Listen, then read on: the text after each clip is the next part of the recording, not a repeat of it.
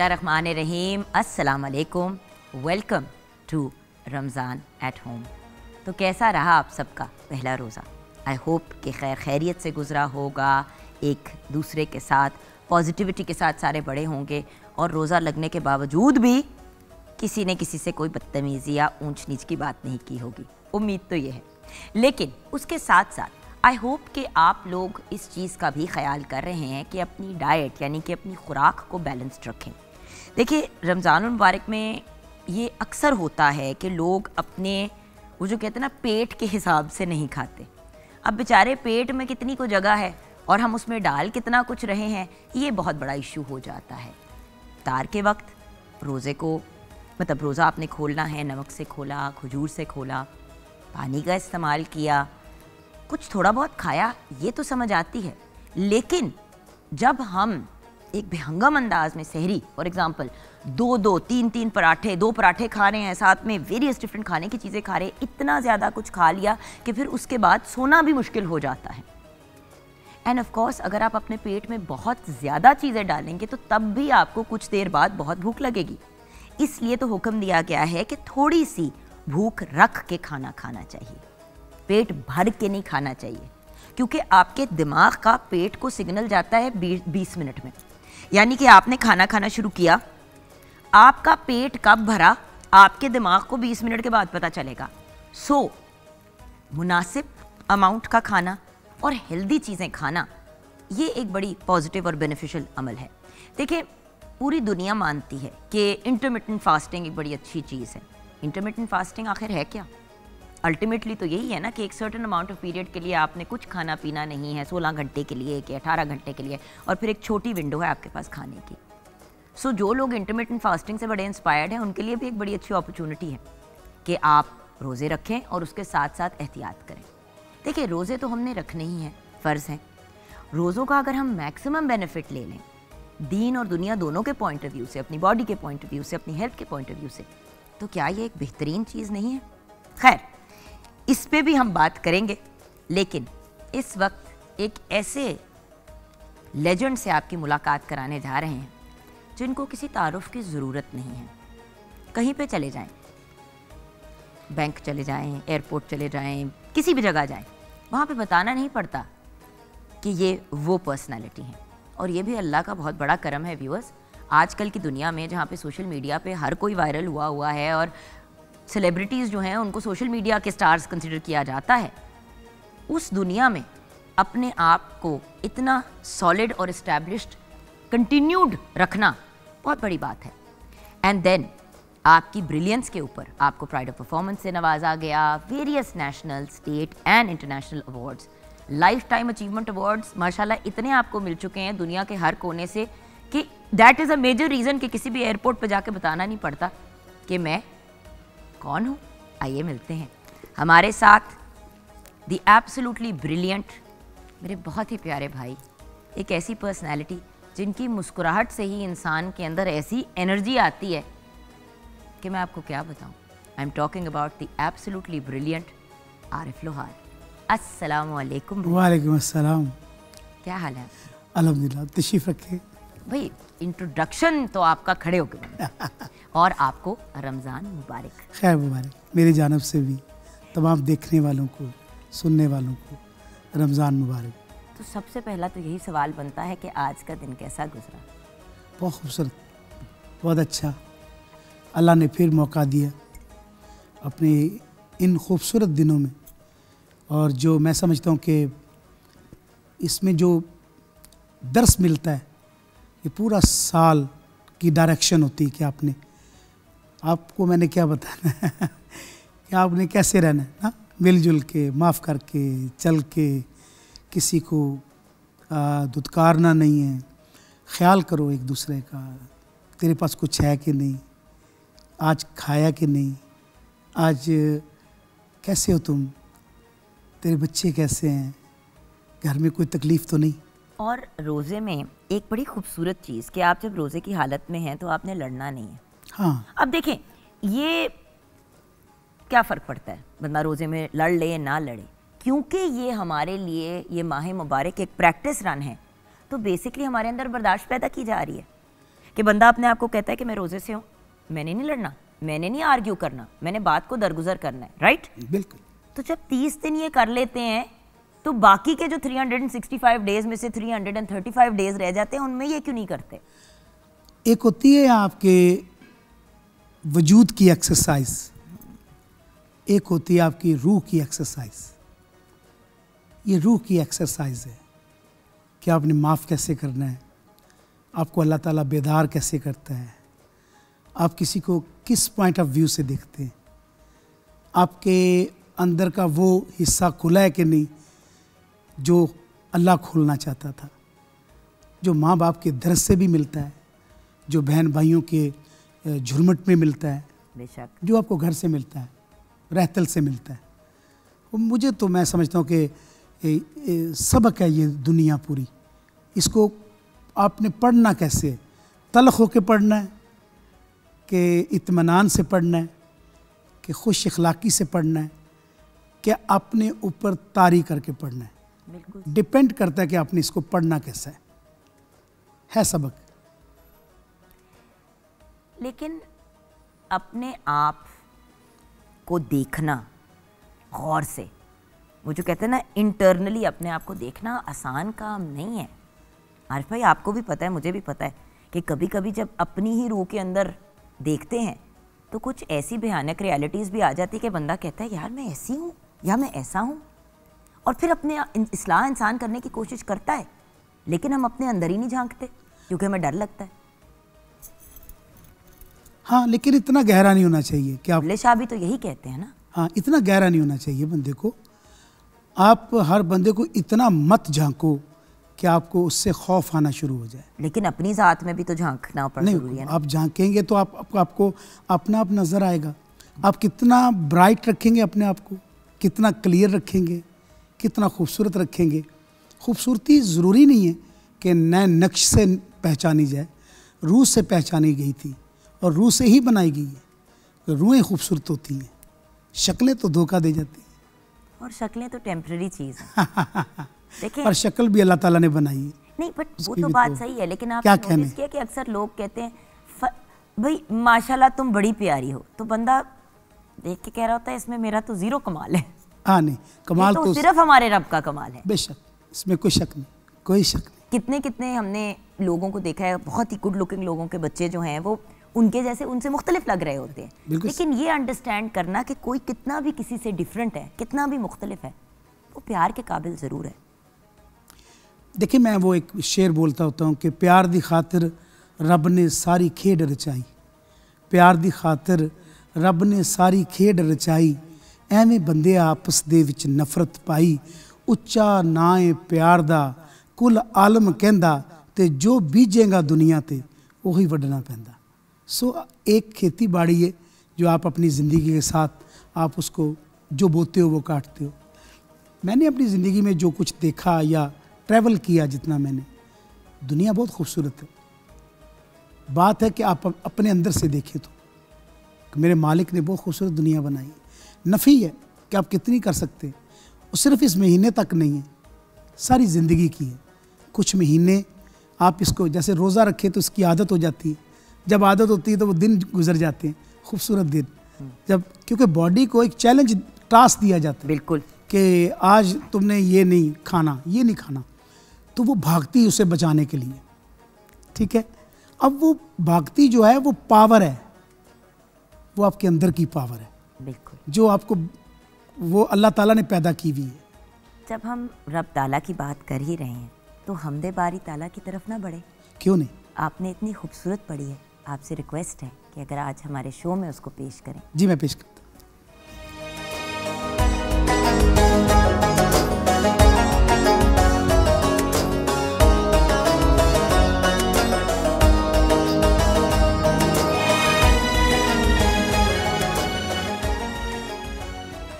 welcome back from the break viewers. आप देख रहे हैं रमज़ान एट होम और हमारे साथ मेरे बहुत ही प्यारे आरिफ भाई हैं। आप लोगों ने जानते हैं Arif Lohar the living legend but मेरे तो प्यारे भैया हैं। इतने खूबसूरत हम ये एस एम सादिक साहब पाकिस्तान के बहुत प्यारे अवामी शायर हैं। उन्होंने अभी रिसेंटली लिखी तो मैंने रमज़ान शरीफ के लिए रिकॉर्ड किया अच्छा आप हमेशा आरिफ भाई दीन और दुनिया को इतनी खूबसूरती से आगे लेके बढ़ते हैं। एक तरफ़ आपका म्यूज़िक है, आपका क्राफ्ट है, आपकी आर्टिस्ट्री है। दूसरी तरफ़ आप हमेशा अपना हिस्सा डालते हैं। चाहे नात रसूल मकबूल सल्लल्लाहु अलैहि वसल्लम पेश करें, चाहे हमदे बारी ताला पेश करें, चाहे सूफियाना कलाम हो। कि कैसे मैनेज होता है? नाइन्टी परसेंट लोग बैलेंस नहीं ढूंढ पाते। वो या एक तरफ़ हो जाते हैं, दूसरी तरफ़ हो जाते हैं। आप दोनों चीज़ों को इतनी खूबसूरती से आगे लेके बढ़ रहे हैं। मेरे मालिक का कर्म है, जहाँ सोच बंद होती है, वहाँ से उसका कर्म शुरू हो जाता है। ये भी, ये सबसे पहली बात तो यही है, और आखिर भी यही बाकी कुछ बातें होती, मैं समझता हूँ कि आपकी खोज होती है ना, आपने कैसे अपने आप को जानना है कि है क्या। मेरा गाना जो है, नगमा भी है, या जो भी गीत है, उसके पीछे कुछ ना कुछ ज़रूर होता है, जिसके बारे में मैं बयान कर रहा होता हूँ। सो आया हूँ कुछ दिन ज़िंदगी के जो अल्लाह ताला ने अता की है, खूबसूरत ज़िंदगी, उसमें से कुछ पल चुराने के लिए। तो ऐसे पल बना जाओ, जब मैंने कुछ ज़िंदगी के बहुत हक़ का सामना किया तो फिर जाके पता चला कि ये तो कुछ भी नहीं, जिनके बगैर जिया नहीं जाता, सांस नहीं ली जाती, जिसकी छाँव में बैठता है, जिसकी सांसों में वो ज़िंदा रहते माँ। वो नहीं रहते। माँ और लाइफ पार्टनर और और वाइफ ज़िंदगी कैसे कई रिश्ते चले जाते हैं। लेकिन आरिफ भाई मुझे कभी कभी ये बात चुपती ज़रूर है। अम्मी जिनके साथ आपका इतना खूबसूरत ताल्लुक देन भाभी इतनी बड़ी बड़ी ट्रेजिडीज यूजुअली एक ट्रेजिडी इस किस्म की होती है तो बंदे का भट्टा बैठ जाता है। आप तो और अच्छे हो गए। आप तो और प्यारे इंसान बन गए। लोग तो बिटर हो जाते हैं। लोग तो नाराज़ हो जाते हैं। रब ताला से झगड़ा करते हैं नहीं। जो नहीं बनता। लेकिन करते हैं। हर बंदा अपनी मासूमियत में जिस भी तरीके से इजहार करता है। आपका दिल इतना बड़ा कैसे है? हमें आज ये बता दें प्लीज़ मुझे नहीं समझ आती। बस ये समझ लें कि, कुछ चीज़ें होती हैं जो ज़िंदा रहने के लिए वो क्या कहती कि वो ज़िंदगी ही बता देती कि आपने कैसे रहना है। एक्चुअली हम लोग मरने के लिए, ज़िंदा रहने के लिए नहीं है। तो ये जब बंदे को सॉलिड किस्म की वो मिलती है पूरी कि आपको ये करना है तो ये तो है, ये तो सच है। एक घर में एक मेरी बड़ी माँ जो आवाज़ देती थी तो सारी दुनिया इकट्ठी हो जाती थी। सब हाजिर हो जाते थे इस इस तरह से। और एक वो मेरे दिल की शहजादी कह लें। शहजादी। और वो मेरा लिबास थी और मैं उसका लिबास था। एक कायनात की वंड है। आपने कैसे रिश्ते को अपनाया कैसे देखा? बाकी ये सारे रिश्ते जो हैं ये सब अल्लाह ताला के बनाए हुए हैं। उसी का मैं समझता हूँ ये कर्म है या जो भी है जैसा आप अपने आप को ढूंढते हैं वैसा पा लेते हैं। लेकिन देखें ये सब तो हुआ लेकिन उस माँ जिससे आपको प्यार नहीं मोहब्बत नहीं बाकायदा इश्क था।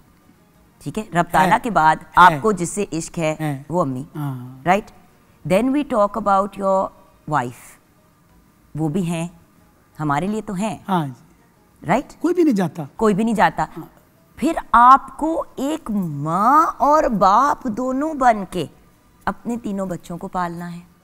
पढ़ नहीं रहा। मैंने जान के ये वर्ड नहीं यूज़ किया कि पालना पढ़ रहा है। आप पाल रहे हैं। इस ट्रांजिशन में कैसे आए? क्योंकि पहले देखें यार भाई आप हमेशा से एक बड़े इन्वॉल्व फादर थे लेकिन आप काम में मसरूफ थे। आपकी प्रायोरिटीज इसलिए फ़र्क थी क्योंकि आपको पता था कि भाभी संभाल रही हैं देख रही हैं। तो इस सब कुछ से बच्चों के साथ मामला कैसे हुए?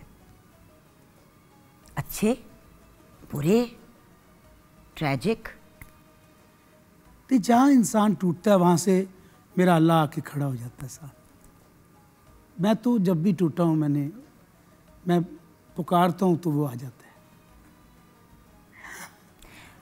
ये वाली जो दिल की आवाज़ है मैंने जो इनिशियली बात पूछी मैं वापस उसकी तरफ़ जाऊँगी। सूफियाना कलाम हमद नात इसकी तरफ़ किस स्टेज पे आपका रुझान हुआ? बचपन से। या शुरू से ही? बचपन से। तो पहली दफ़ा हम या नात कब पढ़ी थी आपने? मैं छः सात साल का था जब मैं मैंने पढ़ी थी। तो यानी कि गाने से पहले? हाँ मैं नातिया कलाम अब्बा के अब्बा। मेरे वाले साहब जो पढ़ते थे वो मैं पढ़ा करता था। और अब बच्चों में? वही चीज़ है। तीनों में है? तीनों में। आए हुए शो पे बड़ी दफ़ा। बट मैं हमेशा सोचती हूँ कि तीनों में म्यूज़िक की तरफ़ रुझान है। देखिए जो वही आ गया जो भी। कलाम तो अपनी जगह बट मतलब हाँ लेकिन बात वही है कि आपका अक्स है ना तीन तरह का अक्स आ जाता है सामने। अब तीन जो फेस है मेरे वो है मेरी औलाद में। वो मेरे अल्लाह ताला की अता है कर्म है। हमें उसने माँ का अगर दर्जा दिया है तो वो कर्म करने वाला है। वो मैं शुरू से लेके आज तक अब क्या हुआ कि मुझे ऐसे लगता है जैसे वो मेरी माँ बन गए। बाकायदा हाँ। लगता भी है। मेरी बड़ी माँ का इतना वो प्यार था मेरे साथ मेरी मोहब्बत इतनी थी कि मैं आपको बयान नहीं कर सकता। कि वो जब भी मुझे आ, क्या मैं बताऊँ कि उनका हंसना मुस्कुराना कभी मैं नहीं भूला। और वही बात आ जाती है कि जब आप माँ बनते हो तो फिर आपको पता चलता है कि माँ होती क्या है। माँ एक बड़ा स्ट्रॉन्ग मैसेज है। माँ डायरेक्शन है ज़िंदगी की। माँ से आपको मिलता है कि आपने ज़िंदा कैसे रहना है? माँ से आपको तशक्कर मिलता है कि आपने रब का शुक्रगुजार कैसे रहना है? माँ पहला दर्स देती है आपको। माँ बताती है, तेरे बाप ने ये किया और तूने भी अपने बाप का नाम रोशन करना है। तूने अपने बाप के साथ ऐसे सलूक करना है। देखिए, माँ एक बेहतरीन दरस है। मैं नहीं समझता हूँ कि जो बंदा अपनी माँ के होते हुए, देखो, अल्लाह ताला ने मिसाल दी, सत्तर माओ जितना मैं प्यार करता हूँ। तो सत्तर मावा का टोटल कोर फिर एक रब बनता फिर मायूस होने वाली कौन सी बात? और जिस जन्नत के पीछे हर इंसान भाग रहा होता है वो जन्नत तो आपकी माँ के पैरों तले है आपके घर के अंदर है। बिल्कुल बिल्कुल बिल्कुल। बिल्कुल। और आप उसे ढूंढें। ढूंढना क्या है? सामने आप रोज़ जियारत करें देखें उसे। तो फिर हमें बताएँ कि आपकी बड़ी माँ थी कैसी। उनकी पर्सनैलिटी के बारे में बात करते हैं। आपको तो हम जानते ही। मुस्कुरा के बात करते हैं। बहुत प्यार से। मुझे नहीं थी? नहीं। कभी मार नहीं नहीं नहीं। एक बड़ी ना उनकी बोलने का एक अंदाज था वे मरी माँ। हम्म। एक ही करना पे। वे मरी माँ?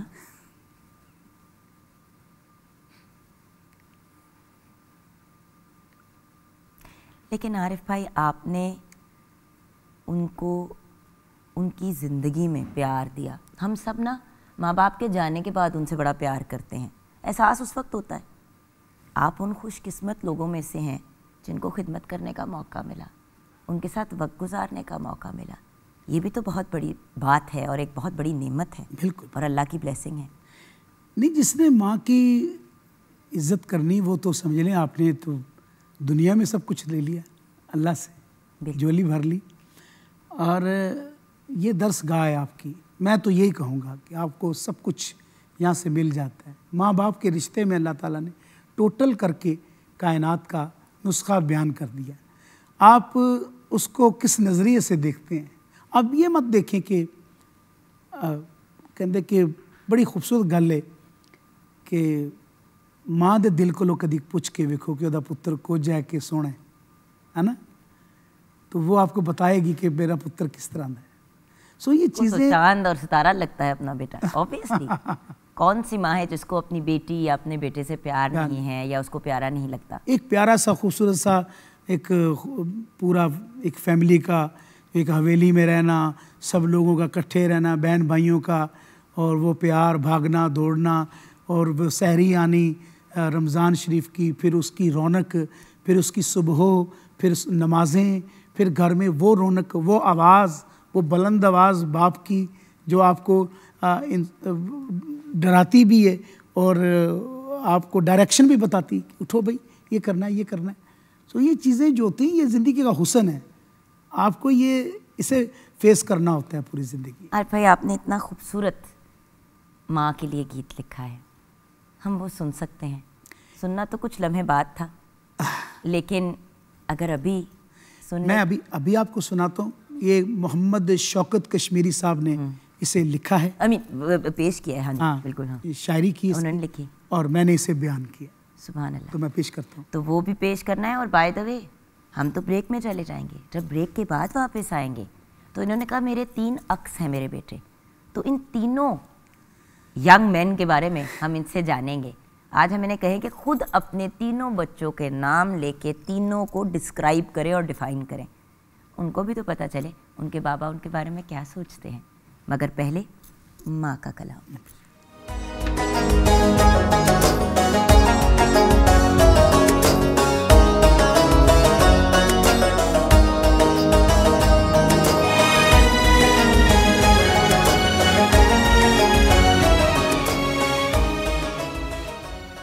जी हाँ व्यूअर्स बहुत ही खूबसूरत, बहुत ही खूबसूरत कलाम।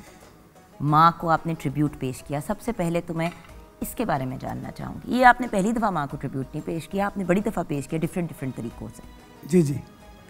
बात यह है कि माँ देखिए एक वक्त ऐसा था कि एक हवेली में चार चार माएँ हुआ करती थी। पाँच पाँच माएँ हुआ करती थी। माँ तो माँ ही होती। नहीं चार से ज़्यादा नहीं होनी चाहिए। पाँच पाँच कर लो छह कर लो। छह कर लो। मतलब जैसे खाला भी पुप्पो भी हाँ, चाचियाँ ये सारे रिश्ते सारे रिलेटिव ये भी माँ माँ। जैसे। माँ आप कभी भी आपको साथ नहीं छोड़ती आपका। वो आपके साथ रहती है। वैसे मैं आपको ओरिजिनल बात बताऊँ कि एक घर में वाकई चार माएँ और चारों का पता ना होगा किस माँ का मैं बेटा हूँ। तो एक माँ मार रही हो तो पता चले इसका मैं पुत्र हूँ। माँ तो माँ है। दुख तो ऐसा है कि माँ का बयान जब आप करते हो तो आपको ऐसे लगे कि इसके जने हुए हो। आप किसी की माँ को जब मिलते हैं मेरे इतफाक हुआ वो ये सरगोदा में एक प्रोग्राम था जिसमें मैं गा रहा था तो एक माँ ना मुझे ऐसे उसकी आँखों में आँसू थे तो अचानक मेरा दिल भर आया तो मैंने कहा यार किसी तरीके से ऊपर ले आओ। तो मैंने कलावे में लिया कि माँ तो माँ है। माँ तो किसी की भी हो तो माँ होती है। तो ये जो चीज़ है ये तो फितरतन आपके अंदर मौजूद होती उसे बयान आपने कैसे करना है? तो जब आप वही बात आ गई कि आप मुझे पूछ रहे बाप से कि आपके तीनों बेटे आपको जो मैंने ब्रेक में बात की, क्योंकि वो हमारे व्यूअर्स नहीं सुनी। अक्सर एक्चुअली आरिफ भाई और मेरी हमारी गप चलती रहती है तो लगता है कि वो हमने ऑन एयर की। मैंने आपको एक बात कही, और मैं चाहूँगी कि आप उसको एड्रेस करें ऑन एयर आपके तीनों बेटे आपको उस नज़र से देखते हैं, जैसे लाडले बच्चे अपनी माँ को देखते हैं। डिमांड भी आपसे करते हैं, दुख भी आपके साथ शेयर करते हैं, प्यार भी आपसे करते हैं बेस्ट फ्रेंड भी आप हैं। तो अब इन तीनों शहजादों के बारे में हमें बताएँ एक एक करके। सबसे बड़ा मोतबिर जिम्मेदार मेरा पहर जो फ़िक्र करने वाला और सबसे बड़ा अली लोहार मेरा सबसे बड़ा बेटा। नहीं बट अली आपके भाई की तरह नहीं है? आपके बड़े भाई की तरह जिनसे आपको बहुत प्यार है। हाँ हाँ बिल्कुल मेरे तो आपने मुझे यही बताया था ना एक दफ़ा कि ये हाँ डॉक्टर साहब की तरह है ये। डॉक्टर साहब की तरह। उसकी आदात बड़ी नफीस हैं। वो भी एक मेरा मैं ये अपने आप को नहीं कह रहा हूँ कि मेरे ही मेरा ही अक्स है एक। एक मिडल में है आमिर लोहार। बहुत खामोश। लाडू। हाँ और थोड़ी बात करने वाला। और बड़ी आला बात करने वाला। वो वन लाइन के किंग है। हाँ वन लाइनर देता है बात वहीं ओए। वहीं शुरू होकर खत्म हो जाती हाँ है। जी, हाँ जी, हाँ बंदा कहता है कितने सालों का हाँ, है ये ये वाला मसला याद है हम लोग बैठे हुए थे? हम शौक में में हम तो रो पड़े। हम्म, अभी कोई बात मैच नहीं की हुई ना कोई बात है। हम लोग तो ट्रिब्यूट दे रहे थे अबू को। तो वो बात करते करते कहते पहले पापा जो है ना तो आ, अब हमें पापा ही खाना खिलाते हैं तो बाद में जो बच जाता है फिर पापा खुद खाते। उसने इमोशनल कर दिया पकड़ के वहीं पे ही। रोना शुरू हो गया मैं। लेकिन आप बाप भी? कम होता है। मैं ये नहीं कह रही कि बाप नहीं करता। शायद ये सोसाइटी और ट्रेडिशन की भी प्रॉब्लम है कि हमारे यहाँ मर्द को कहा जाता है कि ज़रा परे करके रखो। आपने ये मोल्ड ब्रेक किया। क्योंकि देखने में तो यू you नो know, एक एक आपकी एक लुक है साहब like you know sorted and then जब मैं आपको बच्चों के साथ देखती हूँ तो मैं कहती हूँ एक मर्द माँ का रूप कैसे धार सकता है for for lack of a better word so for me it is fascinating अच्छा हमारे छुटकू। आ, जो सबसे छोटा है वो मेरा आलम है। उसे तो मैं प्यार से लड्डू कहता हूँ। लड्डू पाला लड्डू। अच्छा नहीं जब नाम रखा मोहम्मद अरशद आलम लोहार। सूरत नाम। तो मैंने कहा यार नाम तो रख दिया दोनों ही नाम मेरे लिए अजीम है एक तो मेरे भाई का नाम है सबसे बड़े भाई का और एक मेरे अब्बा का नाम है। अब मैं इसको तो डांट ही नहीं सकता हूँ मैं कैसे बात करूँगा? फिर मैंने निक नेम रखा लड्डू। हाँ ये थोड़ा ओए तू तो कैसे कहनू तो मैं तो कह ही नहीं सकता जनाब लड्डू साहब उठो नहीं बैठो वो मैंने देखा हुआ है। फिर लड्डू साहब जरा मैंने एक दिन पूछा मैंने कहा भैया क्यों उसकी आदतें खराब कर रहे हैं? बिगड़ जाएगा बच्चा? कहते बातें करता मुझे। अबू का नाम है। हाँ क्या मैं क्या करूँ? हाँ क्या? मैं तो मैंने कहा तो लड्डू बुलाते हैं तो आगे से घूम के कहते हैं हाँ बुलाता हूँ तो लेकिन पता तो है ना कि असल नाम क्या असल नाम इसका ही है। बात वही कि रिश्ते जाते नहीं है कहीं पे। रिश्ते आपको वो फॉर्म चेंज कर देते हैं। हाँ। जैसे कि पानी को आपने फ्रीजर में डाला वो Exactly. बन गई Exactly. उसको बाहर निकाला वो पिघल गई हाँ। उसको हीट दी वो स्टीम की तरह चलेगी चीज़ एक ही है। बिल्कुल। फॉर्म बदल रही है। फॉर्म बदल गई। अब क्या वही वही आगे बात कि माँ माँ है चाहे किसी की हो। वो वो भी तो ज़माना था जब वाकई कि एक घर में चार माएँ रह रही हैं एक पा एक के पास सो रहा हूँ वो भी कह रही कि ये मेरा बेटा है, वो कह रही मेरा बेटा मेरा बेटा ये नहीं पता कि है किसका बेटा लेकिन जो ज़्यादा मार रही है उसका पता चला कि मैं मैं तो पैदा ही इसमें से हुआ हूँ। बिल्कुल ठीक है। तो फिर पता चला कि ये तो मेरी माँ है। तो ये बातें जो होती हैं ना ये ये नस्बत है माँ की। ये अल्लाह ताला ने माँ के अंदर एक खुशबू रखी हुई है। ये बड़ी कायनात की वंड है। आपकी अपने बेटों के लिए क्या ख्वाहिश है? देखिए मैं एक किस्म की दुआ करती हूँ अपने बच्चों के लिए। हर बंदा अपने औलाद के लिए दुआ करता है। आपकी अपने तीनों बेटों के लिए दुआ क्या ख्वाहिश है? मेरे अब्बा मुझे कहा करते थे मैं अक्सर इंटरव्यू में कहता हूँ कि कहते मैं रमा ना रमा मेरी दुआमा तेरा पीछा करूँगी। तो मैं सेम जुमला अपने तीनों बेटों के लिए। आप क्या मशवरा क्या एडवाइस हमारे व्यूअर्स को देंगे? सोचें कि सामने आपको आपके बच्चे देख रहे हैं। देखिए व्यूअर बड़ा मासूम है तो उनको अपनी औलाद की तरह कोई अच्छी बात कोई पते की बात कोई वर्ड्स ऑफ़ विजडम कम दिन है ज़िंदगी के बहुत शॉर्ट अपने बच्चों के साथ बहुत ढेर सारा वक्त गुजारें और उन्होंने आपको रिप्रेजेंट करना है।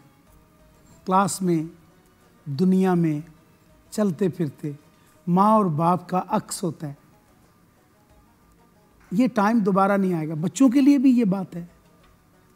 बड़ों से, मोहब्बत से मैं हम्बल क्या मैं तो ये कहूँगा कि ये जो गैजेट आया जिसे मोबाइल कहते इसमें हर चीज़ है आप क्या देखना चाहते हैं?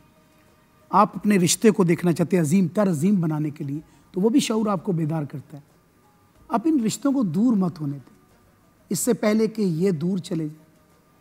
फिर बाद में पछताना कि काश मैं उन, उन, उनको वैसे जानता जैसे जानना चाहिए था। पछतावा ना रहे। आप कुर्बानी को समझें कि यही ज़िंदगी है। ये देखिए ये महीना कुर्बानी सिखाता है। ये महीना आता है बरकतों वाला। तो हम लोग इसमें तरतीब को देखते हैं कि अल्लाह ताला ने कितनी खूबसूरत तरतीब बनाई। अपने बच्चों के साथ बहुत ज़्यादा टाइम स्पेंड करें बहुत ज़्यादा उनको टाइम दें। मैं तो जफियाँ डालता हूँ उनको। मेरे अल्लाह का बड़ा करम है कि वो जब मेरे साथ तीनों आपके साथ सोते हैं लाडियाँ आपसे करते हैं। हाँ जी हाँ जी। और माशाल्लाह से आ, तीनों मेरे साथ अटैच है। थोड़ा मेरा मैं खामोश बैठूं तो आके फिक्रमंद हो जाते हैं जाओ पूछ के हो पापा को क्या हुआ। क्यों चुप बैठे? और जब मामला कंट्रोल में नहीं आ रहा तो लड्डू साहब को भेजा जाता है। ये लड्डू हैंडल द सिचुएशन जैसे मैं सॉरी लड्डू जी। जैसे मैं जाता था। जैसे। मैं जाता था।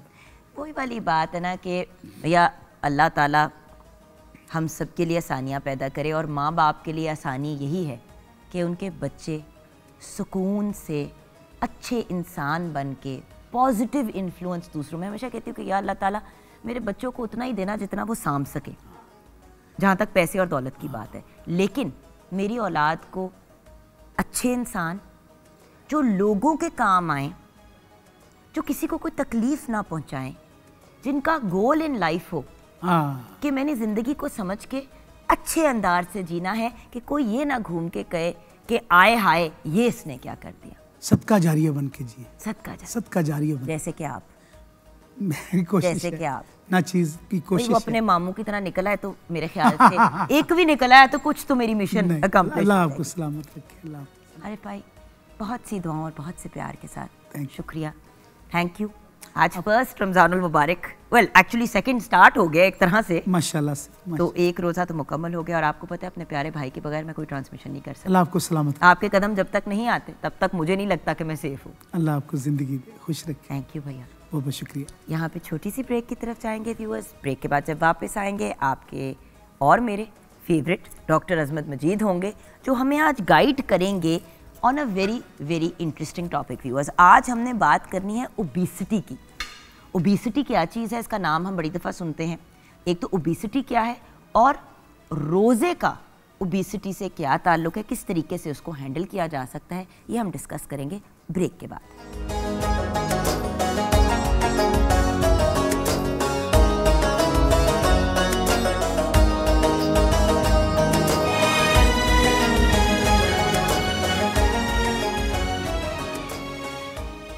Welcome back from the break viewers Arif भाई गए तो एक और ब्रिलियंट पर्सनालिटी ने हमें ज्वाइन कर लिया। जैसे कि ब्रेक से पहले भी आपके साथ शेयर किया clinical and therapeutic nutritionist doctor Azmat Majeed हमारे साथ है। More than a clinical and therapeutic nutritionist doctor साहब you are a researcher ji I am you are basically scientist ji I do तो ये क्या इंट्रोडक्शन होता है आपका? Because I practise clinical and therapeutic nutrition तो इसलिए। तो जो सारी ज़िंदगी वक्फ कर दी रिसर्च को जी। वो किस खाते में आएगी? वो ये मुझे बड़ा आपसे गिला है। वो रिसर्च जो है वो क्योंकि इट चुको तो न्यूट्रिशनिस्ट निकलता है। आ, वो मोस्टली डाइटिशियंस हैं। यानी कि वो क्लिनिकल न्यूट्रिशन में पाकिस्तान में कम ही लोग हैं। अभी रिसेंटली एक यूनिवर्सिटी है नूर इंटरनेशनल यूनिवर्सिटी वो कर रही है कुछ क्लिनिकल न्यूट्रिशन में। उसका सिलेबस भी मैंने डिज़ाइन किया था। So hopefully we'll have few people in clinical nutrition in near future doctor साहब obesity ji. From a nutritional point of view from a medical point of view obesity है क्या? आजकल बहुत ये वर्ड यूज़ हो रहा है। जी। हम तो खैर 20 साल पहले भी यूज़ हो रहा था when I was younger but the point is अब भी बहुत ओबिसिटी का वर्ड यूज़ किया जाता है। ये उस- बला क्या है? उसकी वजह यह है कि अब बहुत ज़्यादा लोग जो है ओबिसिटी की कैटेगरी में आ रहे हैं। एक और मैं बात आपसे और अवेयरनेस भी आ गई है ना। अवेयरनेस भी आ गई। पहले तो बीस पच्चीस किलो नॉर्मल वेट से ज़्यादा वेट होता था तो लोग कहते थे थोड़ा सा हेल्दी है। अब रियलाइज़ किया कि ये मेडिकल कंडीशन भी हो सकती है। बिल्कुल बिल्कुल। अगर बिल्कुल। मेरे कद के बंदे पे 25 किलो वज़न और बढ़ जाए विच इज़ ऑलमोस्ट 52 53 पाउंड्स और 54 पाउंड्स तो ऑब्वियसली फिर मेरी मसाइल तो होंगे। बिल्कुल बिल्कुल। न- मैं ओबिसिटी और मोटापे को अगर थोड़ा सा एक्सप्लेन करूँ कि हर इंसान अपने अपने गिरबान में झाँक झाँक सके और ये जान सके कि उसकी ओबिसिटी या उसका जो वेट गेन है, उसकी क्या वजूहत है। सबसे पहले तो आपको ये जानना चाहिए कि जब आपका वेट गेन हो रहा है तो आपका मेटाबॉलिज्म स्लो है। कि आपकी बॉडी टू की कैपेसिटी टू बर्न फैट जो है एज वी एज वो कम होती जाती है। और जैसे जैसे वो कम होती जाती है तो उस, हमारा मेटाबॉलिज्म स्लो होता जाता है। हम खाना पीना उतना ही खाते हैं, और अक्सर हमारे यहाँ जब हमें स्ट्रेस होता है तो बिंज ईटिंग जो है, वो बहुत ज़्यादा लोग करते हैं। स्ट्रेस में यू नो लाइक अपने आप को वो स्ट्रेस की कंडीशन से निकालने के लिए people tend to eat a lot और जब वो इस किस्म की सिचुएशन हो और आपकी कैपेसिटी टू बर्न फैट जो है वो यंग डेज़ से कम हो जाए तो आप कहते हैं, मैंने खाना तो उतना ही खाया है, मगर why is it I am getting fat अब why is it people are getting fat number one सबसे पहली जो वजह है वो इंसुलिन रेजिस्टेंस है। अब इंसुलिन रेजिस्टेंस को मैं थोड़ा सा एक्सप्लेन कर दूँ और लोग जो हैं वो आ, बिल्कुल इसको एक मिनट आप इंसुलिन रेजिस्टेंस कहते हो तो दिमाग में वो टीके ही आते हैं जो आजकल हर कोई लगा रहा है अपना वेट कम करने के लिए। जी वो आप एक ओजम्पिक की बात कर रही हैं मगर हम उसकी बात नहीं कर। रहे वो वेवरी मतलब इसके different names all over the place है और वो diabetic and severely pre diabetic लोगों की एक दवाई है हाँ। जो अब लोगों ने वेट लॉस याद है आपको एक ज़माने में वो वाइट गोली भी एक आती थी जो खाते थे प्री डायबिटिक और डायबिटिक लोग वो भी बड़े लोगों ने खाई कि हमारा वज़न कम हो जाएगा। जी जी। तो इस किस्म की एक्सपेरिमेंट्स करेंगे? उसको मैं उसके उसके साइड इफेक्ट्स पे और उसके इफेक्ट्स पे तो हम बाद पे आएँगे मगर पहले मैं थोड़ा सा मतलब ये इंसुलिन रेजिस्टेंस से जी जी में यही मैं, आता है। मैं आपको एक्सप्लेन करूँ। असल में जो फॉर एग्जांपल एक 18 साल का बच्चा है या बच्ची है और उनकी 22 23 24 वेस्ट है और उनको कोई यानी कि नहीं है वेट गेन नहीं है तो उनकी बॉडी पाँच यूनिट इंसुलिन के बनाती है और 80 यूनिट ग्लूकोज के मेटाबलाइज करती है। 80 divided by 5 this is one is to sixteen. यानी कि एक यूनिट इंसुलिन का बनता है और वो इंसुलिन में इतनी ताकत होती है कि वो 16 यूनिट्स ग्लूकोज को मेटाबलाइज करती है। जैसे जैसे हमारी एज बढ़ती जाती है हमारा पेनक्रियास जिसको हम लुबलबा भी कहते हैं वो इंसुलिन या तो बनाना कम शुरू कर देता है या हमारी majority of cases 75 percent cases में वो इंसुलिन ऐसी बनाता है जैसे पानी की तरह है। वो डाइल्यूटेड इंसुलिन है।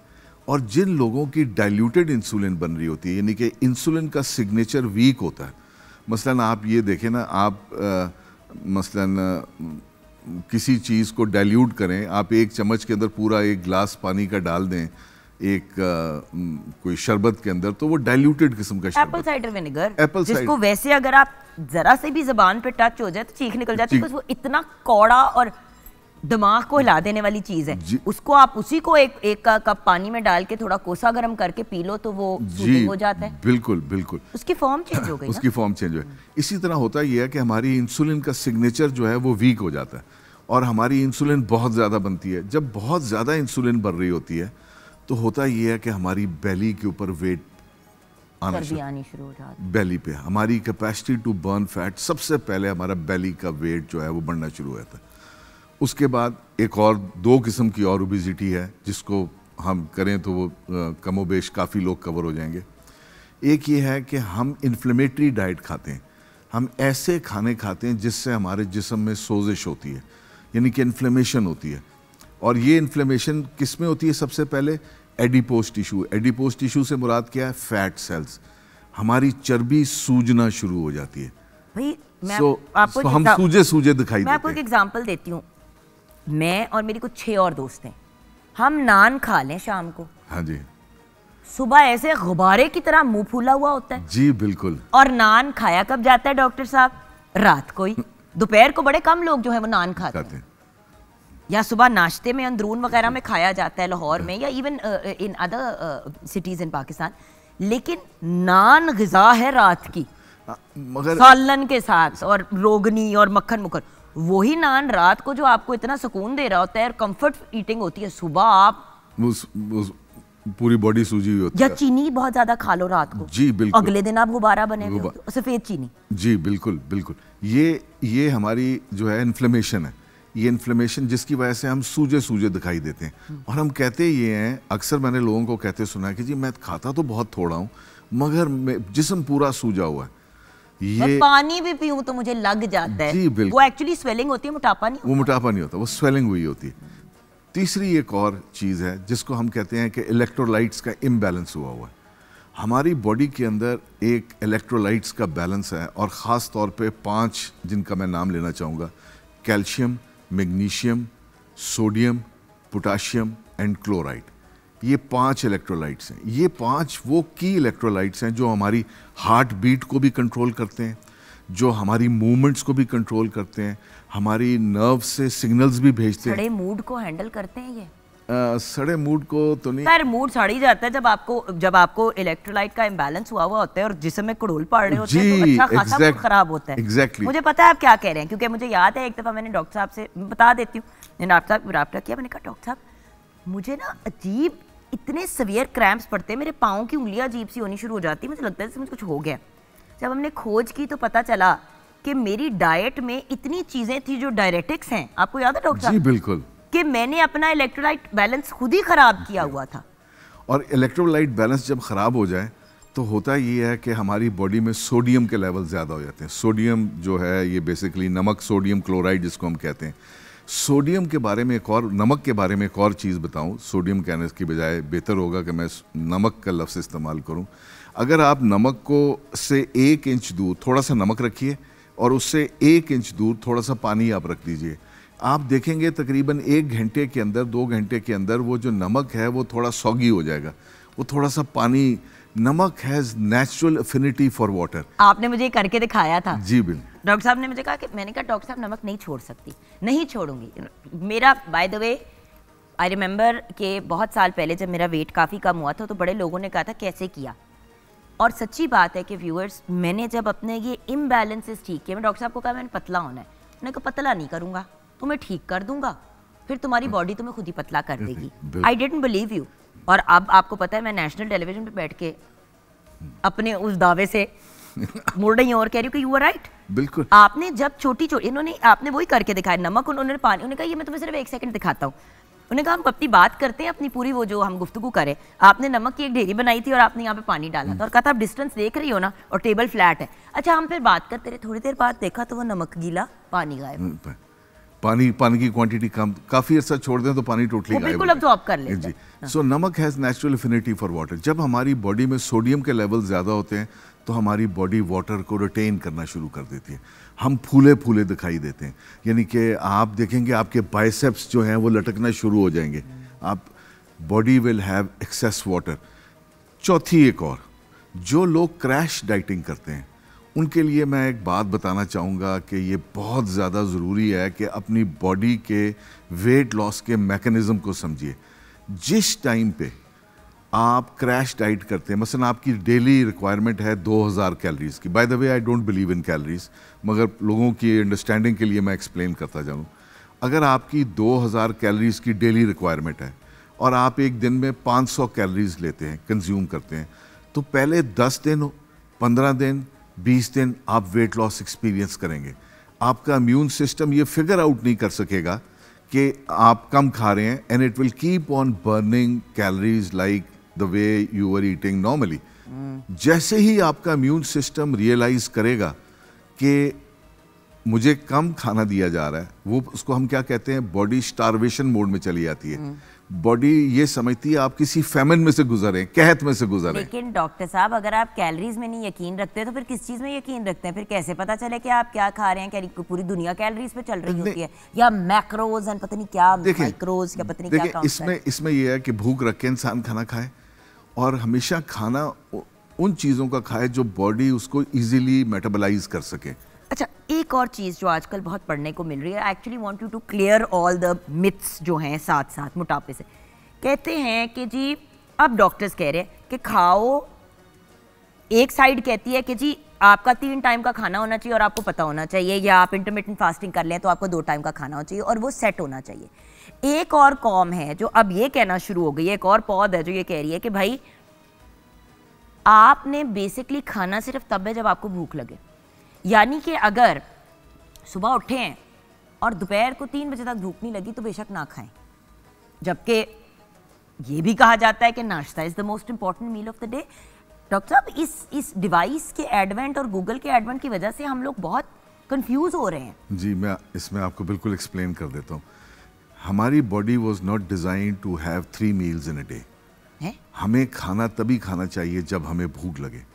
ये उस वक्त नहीं खाना खाना चाहिए कि अब हमारा खाने का टाइम हो गया है तो अब हम खाना खाएँ। उसके अलावा उससे पहले जो आपने बात की कि ब्रेकफास्ट अगर आपने सुबह नौ बजे उठ के सुबह छः बजे उठना है और नौ बजे आपने निकल जाना है काम के लिए तो breakfast is definitely the most important meal of the day लेकिन डॉक्टर साहब नहीं भूख लगती। अभी बहुत से लोग हमें लाइव देख रहे हैं जो जो कहेंगे मेरे से नहीं खाया जाता सुबह। आई बी वेरी ऑनेस्ट मेरी भी तबीयत खराब होती है। उसकी वजह यह है कि वो रात को या तो देर से खाना खाते हैं ठीक है अगर आप रात को फॉर एग्जांपल 11 बजे खाना खा के 12 बजे सो रहे हैं तो फिर आपको भूख कैसे लगेगी? सो so, अगर आप रात शाम को छः या सात बजे खाना खाते हैं और सुबह आप आठ नौ बजे उठ के नाश्ता करने के लिए आपको वाकई you will feel hungry so if you are eating late that is when you don't feel like having क्या कहते हैं ब्रेकफास्ट इन द मॉर्निंग दूसरी बात अगर आपने ब्रेकफास्ट किया है तो मैं इसका एक फर्म बिलीवर हूँ कि you don't need to have a lunch आपको लंच में क्या लेना चाहिए? आपको लंच में स्टीम्ड वेजीज ले लें, एक सैलड का प्लेटर ले लें फ्रूट प्लेटर ले लें, ऐसी चीज़ें लें, कुछ थोड़ी सी प्रोटीन ले लें। आपकी डाइट में 33 परसेंट काब्स होने चाहिए, तकरीबन 40 परसेंट प्रोटीन होनी चाहिए और बाकी गुड फैट होना चाहिए। गुड फैट से मेरी मुराद ये है कि वाइट बटर हो गया देसी घी हो गया एक्स्ट्रा वर्जिन ऑयल हो गया. And by the way let me tell you one more thing एक जो मिथ है कि आपने वेट लॉस करना है तो you need to cut out your oils ये इतना इतना डेट्रीमेंटल है और आपकी सीवियर कॉन्स्टिपेशन गैस्ट्रो के मसाइल। भाई जो लूब्रिकेंट है आपकी बॉडी के अंदर उसी को आपने रोक दिया। डॉक्टर साहब मैं आपसे सीख गई हूँ माने। Am I a good student you are very good am I still learning absolutely Okay, great. ये आपके जॉइंट्स को लुब्रिकेट करता है। आपकी आर्टरीज और वेन्स की फ्लेक्सिबिलिटी कायम रखता है। आपके ब्रेन की हेल्थ आपके ब्रेन को रिजुविनेट करता है। हम सब समझते हैं कि देसी घी जो है उससे वेट गेन होता है। नथिंग कुड बी फार कभी देसी घी अपनी स्किन पे और अपने बालों पे लगा के देखें? हाँ वो जो। कहते थे ना पहले जमानों में कि ऐसे चेहरे पे कितनी रौनक है। लिटरली रौनक आ जाती है एंड डॉक्टर साहब जिन लोगों को और कुछ नहीं सूट करता सर पे भी लगाने के लिए हाँ वो देसी घी लगा के देखें उनकी ज़िंदगी बदल जाएगी। बिल्कुल it's an amazing it's a miracle this जी बिल्कुल। प्रोडक्ट इसमें ब्यूटेरिक एसिड होता है। इसमें इत, वो फैट को डिस्प्लेस करता है। ठीक है जी। इसी तरह एक्स्ट्रा वर्जिन ऑयल में ऐसी चीज़ें हैं ऐसे पोलीफिनोल्स हैं जो आपके इंसुलिन का सिग्नेचर ठीक करते हैं आपकी ब्लड वेसल्स की फ्लेक्सिबिलिटी को मेंटेन रखते हैं आपके जॉइंट्स को ठीक रखते हैं। मैं इस हक में हूँ कि आप बाजारी तेल जिसको हम ये कहते हैं ये जो ये जो रिफाइंड ऑयल्स हैं इसकी बजाय आप एक्स्ट्रा वर्जिन ऑयल पे चले जाइए। आप ये देखेंगे कि एक पॉज हाँ। ये कहना आसान है। हर बंदा उस तरह साहिब हैसियत नहीं है जिस तरह आप हैं। मगर ये बहुत सस्ते हैं। कहाँ सस्ते हैं? जाके खरीदे ना एक्स्ट्रा वर्जिन ऑलिव ऑयल नहीं, आप olive oil- दिमाग के पटाखे उड़ जाते हैं। नहीं, आप olive- इतना सा कनिस्तर लो तो उतने में आपका पूरा सौदा आ जाता है जी महीने का। जी आप ऑलिव ऑयल क्यों लेते हैं? आप सरसों का तेल लीजिए। आप मस्टर्ड ऑयल नहीं लेते तो आप रेपसीड ऑयल जिसको हम तोरिए का तेल कहते हैं उसमें खाना बनाइए। आप कोकोनट ऑयल में खाना बना लीजिए। कहाँ से? ये कोलू तो लोग ज- वाकिफ होंगे। ये जो एक्स्ट्रा वर्जिन ऑयल से मेरी मुराद सिर्फ़ ऑलिव ऑयल नहीं है। मेरी मुराद ये है कि आप सरसों के तेल में भी खाना बना सकते हैं।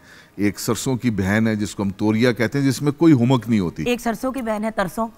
दो तरसों का भी तेल निकाल सकते हैं। नहीं ये नहीं कि वो दोनों एक ही फैमिली के हैं। और बाय द वे व्यूअर्स मैंने ये बात जान के डॉक्टर साहब से पूछी थी कि बहुत अरसा पहले इन्होंने मुझे नंबर दिया कि भाई ये फ़लाँ शख्स है तुम उनसे रबता कर लो। एक दफ़ा सिर्फ़ जाना था मुझे। उसके बाद हमारे घर की अब रूटीन बन गई है।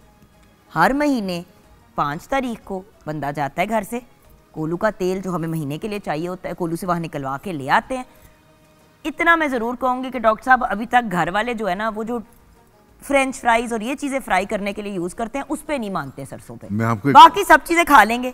मैं आपको एक और बात बताऊँ। मेरे घर में फ्रेंच फ्राइज बनती हैं। मेरे घर में हर चीज़ फ्राई होती है। एयर फ्रायर में और नहीं नहीं नहीं नहीं एयर फ्रायर में नहीं।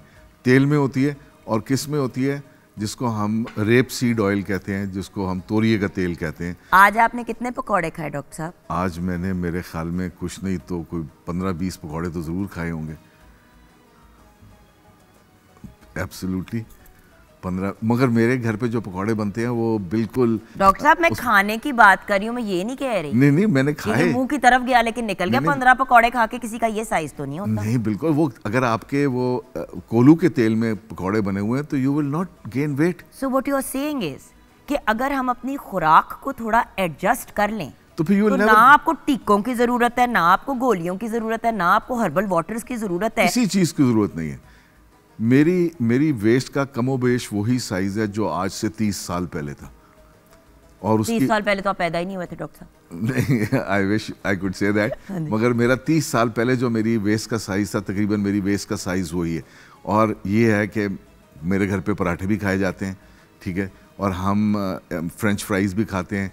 हम हर चीज़ खाते हैं मगर थोड़ा सा अवेयरनेस अपने जहन में है कि हमने चीनी नहीं खानी हमने बाज़ारी तेल नहीं इस्तेमाल करना, हमने चक्की का आटा खाना है, हमने ब्राउन राइस लेना है, सफ़ेद चावल नहीं लेने, हमने शक्कर इस्तेमाल करनी है, जिसको हम कहते हैं रंग काट के बगैर काली शक्कर नॉट दी वाइट शक्कर। ठीक है जी? हमने वो गुड़ इस्तेमाल करना है, हमने हनी इस्तेमाल करना है, हमने मलाई भी खानी है, हमने मक्खन भी खाना है बट हमारा वेट गेन नहीं होता। उसकी वजह क्या है कि हमारी डाइट में कोई ऐसी चीज़ नहीं है जो इन्फ्लेमेशन कॉज करे कोई ऐसी चीज़ नहीं है जो मेरे पेनक्रियास को की इंसुलिन सिक्रीशन को डिस्टर्ब करे। सो so, अगर if you eat right you never have to go for weight loss. अब हम यहाँ पे इस गुफ्तगु को रोक देंगे। इसका पार्ट टू नेक्स्ट टाइम होगा। हमने आप बता तो दिया कि मसाइल क्या हो सकते हैं और क्या क्या प्रॉब्लम्स हैं। इसका हल डॉक्टर साहब से हम नेक्स्ट टाइम लेंगे। क्योंकि डॉक्टर साहब हल भी एक लेंथी गुफ्तगु है। और मैं चाहती हूँ कि हमने प्रॉब्लम तो स्टेट कर दी और अगर आप में से कोई मैं गारंटी के साथ कह सकती हूँ कि जो भी इस वक्त हमें स्क्रीन पे देख रहा है किसी को या तो स्वेलिंग का प्रॉब्लम होगा या वेट गेन बेली के ऊपर हुआ होगा वही चार पाँच चीज़ें जो आपने कही डॉक्टर साहब किसी हर घर में ये प्रॉब्लम है। बिल्कुल। वन और दी अदर सो इस मसले का हल सस्ता मयारी और लॉन्ग टर्म चाहिए। तो फिर डॉक्टर अजमत उजीद का नेक्स्ट टाइम हमारे शो पे अपेयरेंस का इंतज़ार कीजिएगा। और डॉक्टर साहब आपका बहुत बहुत शुक्रिया। थैंक यू और बाय द वे मैंने आपको बताना है कि मैं तो पहले ही आपसे बड़ी इम्प्रेस थी लेकिन जब मेरी एक दोस्त ने मुझे कनाडा से आयदा हुसैन ने जब आपकी तस्वीर भेजी और कहा कि he is a very good doctor you must go to him तो मैंने जवाब में कहा कि मैं उनको एक डेकेड से जानती हूँ and we all swear by him so doctor साहब दुनिया का कोई कोना नहीं है जहाँ पे आपके फैंस और आपके क्लाइंट्स नहीं हैं और वो लोग हैं जो आपको लिटरली वो जो कहते हैं ना ब्लाइंडली बिलीव करते हैं। सो so, व्यूअर्स अगर आप भी डॉक्टर साहब से मैक्सिमम बेनिफिट लेना चाहते हैं तो मेक श्योर दैट डॉक्टर साहब जब भी शो पे आएँ उस दिन कम से कम शो ज़रूर देखें। इस नोट पे हम ब्रेक की तरफ़ जाएँगे। ब्रेक के बाद जब वापस आएँगे व्यूअर्स तो ऑफ़ कोर्स कलाम से ही वापसी होगी। आप हमारे साथ रहिएगा।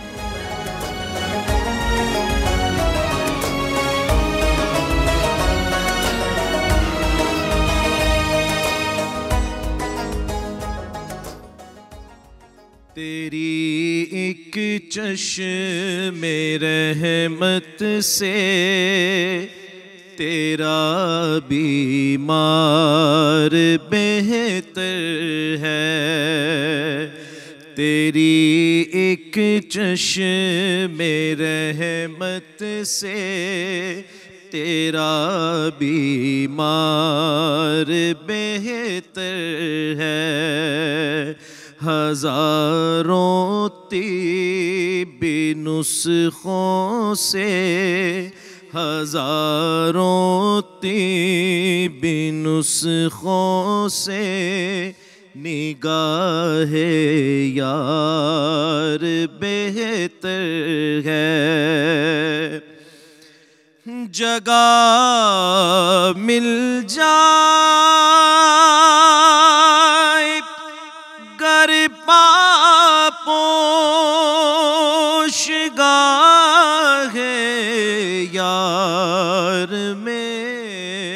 मुझको जगह मिल जाए। गर पापोश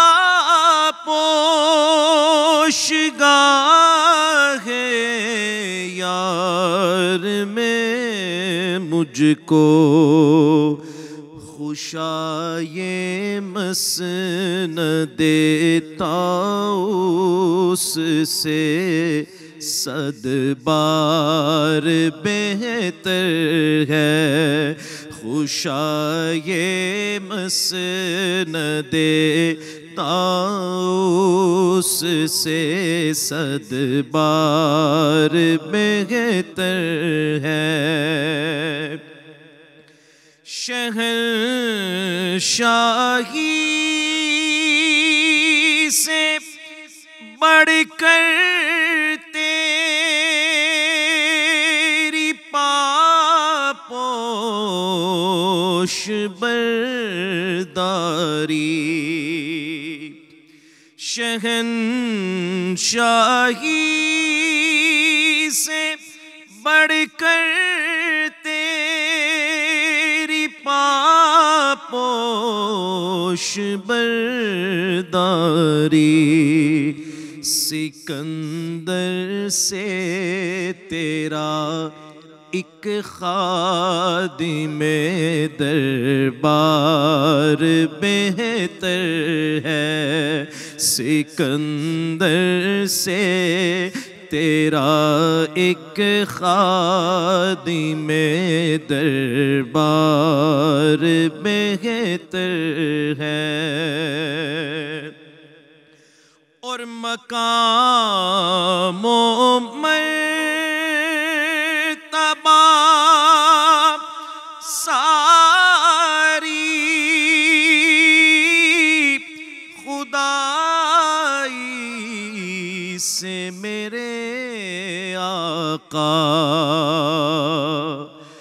मकाम मर्तबा सारी खुदा से मेरे आका तेरा इस पार बेहतर है। तेरा इस पार बेहतर है।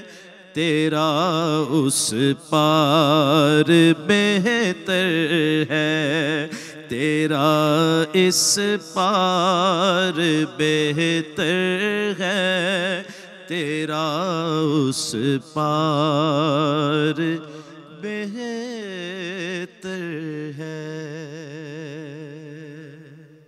सुबहान अल्लाह सुबहान अल्लाह जजाक अल्लाह बहुत ही खूबसूरत आवाज़ के मालिक हाफिज़ नूर सुल्तान सिद्दीकी हमारे साथ हैं। बहुत बड़ा ऑनर है कि इतने बड़े सनाख्वा हमारे प्रोग्राम का हिस्सा बने। बहुत बहुत शुक्रिया नूर भाई आज के प्रोग्राम में शामिल होने का। कैसा रहा आज का पहला रोज़ा? बहुत अच्छा रहा अल्हम्दुलिल्लाह। और अभी तो पहला दिन था तो इतना फील नहीं हुआ। तो अब आगे अच्छा मुझे डिफरेंट ओपिनियंस आ रही हैं। अ, कुछ लोग कह रहे हैं बहुत फील हुआ और कुछ लोग कह रहे हैं कि बिल्कुल भी फील नहीं हुआ। दो ही एक्सट्रीम्स होती हैं। आज थोड़ी सी मेहनत करनी पड़ी थी दिन में अच्छा तो इस वजह से थोड़ा सा लगा तो बहरहाल अभी ठीक हो जाएगा नेक्स्ट इंशाल्लाह। इंशाल्लाह। इंशाल्लाह। और अब एक ऐसी पर्सनालिटी जो किसी भी इंट्रोडक्शन के मोहताज नहीं है। हमारे बहुत ही ब्रिलियंट और रनाउंड स्कॉलर जो ना सिर्फ़ पाकिस्तान टेलीविज़न नेटवर्क पे, बल्कि आप उनको पूरी दुनिया के चैनल्स पे और सोशल मीडिया पे देखते हैं। बहुत ही प्यार से गाइड करते हैं। बात इतनी खूबसूरती से कहते हैं कि दिमाग की जगह डायरेक्ट दिल में ही उतर जाती है। मैं बात कर रही हूँ अपने प्यारे भाई डॉक्टर अलामा सैयद ज़ियाउल्ला शाह बुखारी। अस्सलाम वालेकुम वालेकुम अस्सलाम वरहमतुल्लाहि डॉक्टर साहब मैं ऐसी कश्मकश में रहती हूँ कि डॉक्टर साहब कहूँ कि अलामा साहब कहूँ। हाँ मेरी बहन है जो मर्ज़ी जो मर्ज़ी कह भाई कह ले। प्यारा भाई कह देते हैं। But on a professional note doctor साहब आज हम बात करेंगे दूसरों की पर्दा पोशी की। तो जब हम बात करते हैं पर्दा पोशी की तो आप इसको कैसे डिफाइन करेंगे?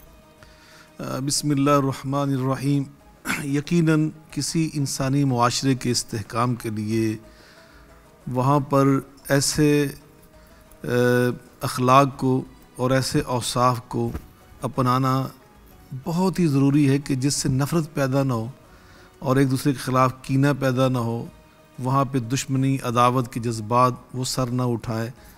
तो यकीनन हमारे माशरे में, सोसाइटी में जो ऐसी बाज़ चीज़ें रूनुमा होती हैं तो उनके पीछे यही महरक़ात होते हैं, अवामिल होते हैं कि बाज़ात हम एक दूसरे के बारे में नाजेबा गुफ्तु करते हैं।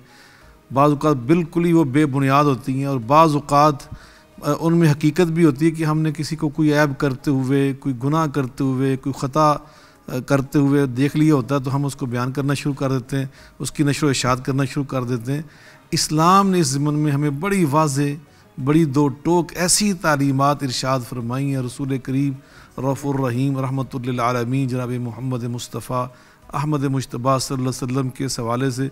बड़े वाज बड़े ही आ, मैं समझता हूँ ईमान अफरोज़ इर्शादात ग्रामी कदर हैं कि जिनमें यह रहनमाई की गई अगर आप किसी को कोई गुनाह करते हुए ख़ता करते हुए देख भी लें तो फिर तुम्हारी क्या ज़िम्मेदारी है? बैसीत एक मुसलमान बैसीत एक ज़िम्मेदार इंसान।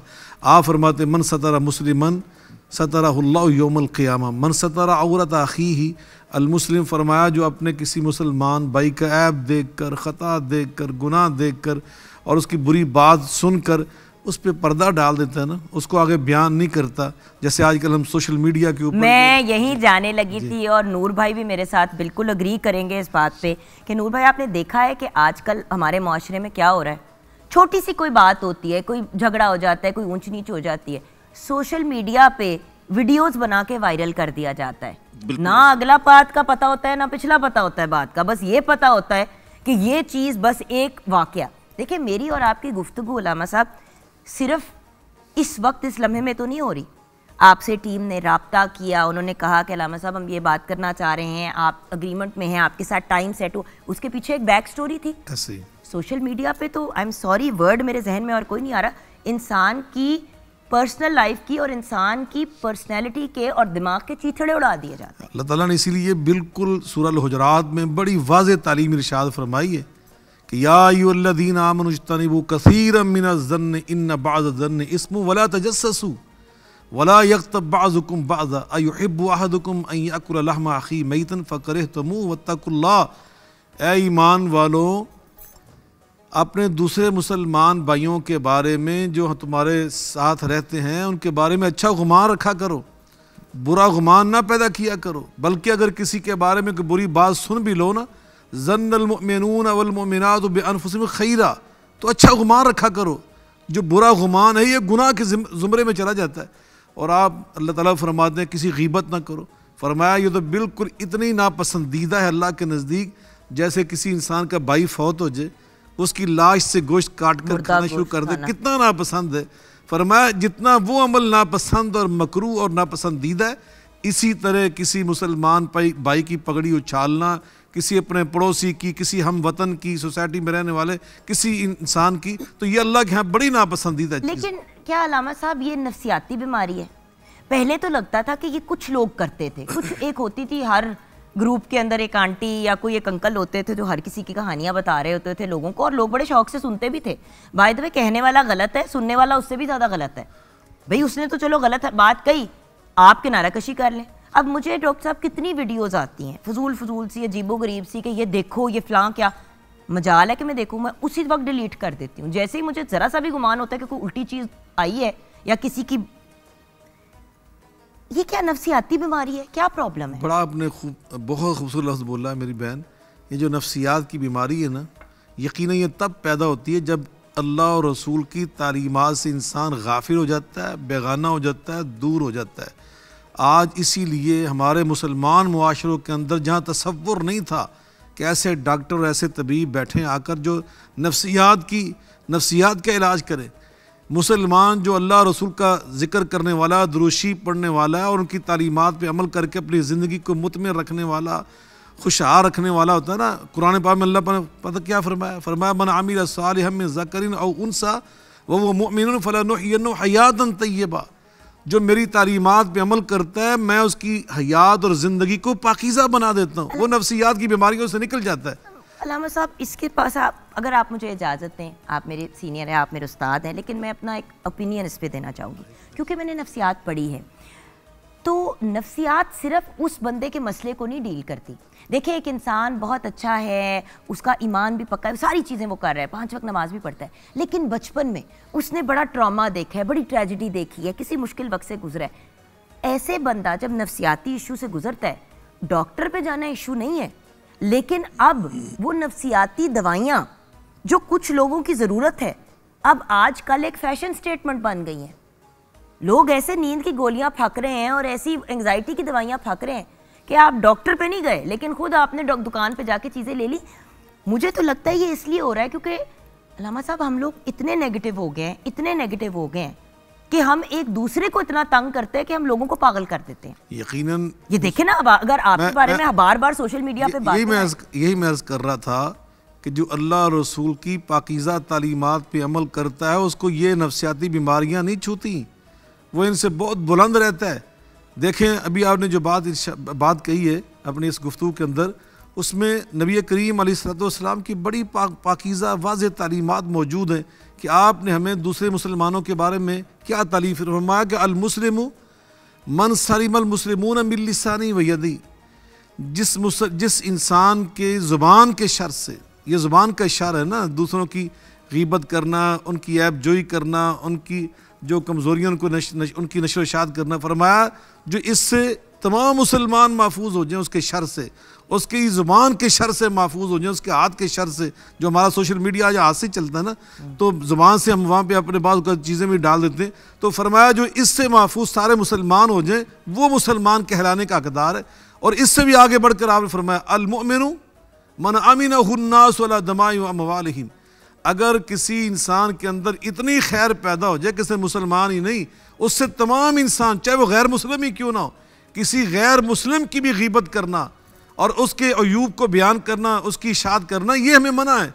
ये, इसकी हमें इजाज़त नहीं है, किसी गैर मुस्लिम की। लेकिन, दफ्तर में एक सुपीरियर है, उसके नीचे जूनियर है। अब वो देख रहा है कि जूनियर नॉन सीरियस है, काम नहीं कर रहा, ये कर रहा है। मतलब आप समझ रहे हैं ना, ये सारे मसाइल चल रहे हैं। अब उस जूनियर की शिकायत हायर अथॉरिटी को करना क्या ये भी इसी के जुमरे में आएगा? ये ये कहाँ पे स्टैंड करती है हाँ ये बड़ी आपने तो लेकिन अहम- अब नौकरी मैं- भी है। मैं चाह रहा था कि इस हवाले से बात हमें करनी चाहिए। देखें कहाँ पे ये चीज़ गलत है और कहाँ पे ठीक हाँ, है? बाज़ अयूब ऐसे होते हैं बाज़ ख़ताएँ ऐसी होती हैं कि जिनका ताल्लुक उस इंसान की अपनी ज़ात के साथ होता है यह एक महदूद उसके दायरा कार के साथ होता है।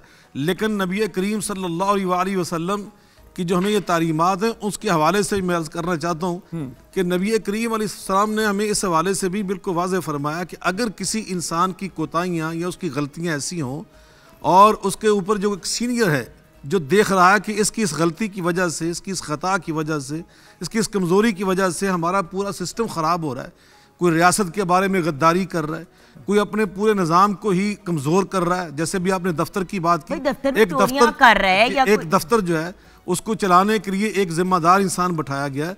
तो यकीन ये उसका फ़र्ज़ बनता है कि उसको रोके।